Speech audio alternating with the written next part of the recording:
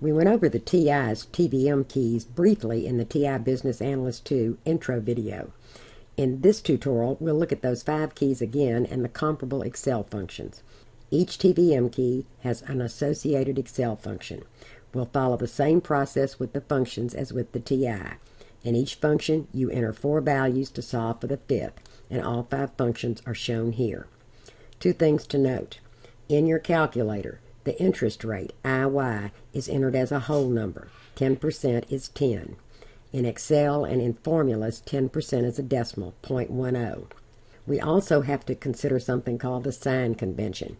Either present value or future value must be negative. Either you invest dollars now, an outflow, a negative present value, and you get money back in the future, a positive future value.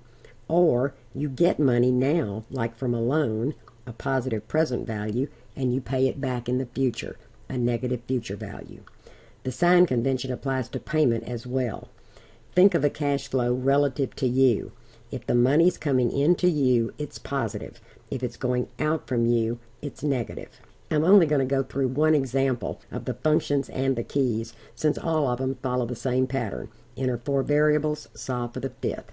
Let's do the present value function in the calculator and in Excel in our calculator. N is 3, IY is 10, payment is 0, 100 future value, compute present value, 75, 13, 50. In Excel, we need the function. We want to enter the cell references. Do not enter the values independently. The rate is in D5, 10%. Number of periods is in D4, 3. The payment is in D7, 0. The future value is in D8, 100. Press enter and there's our value.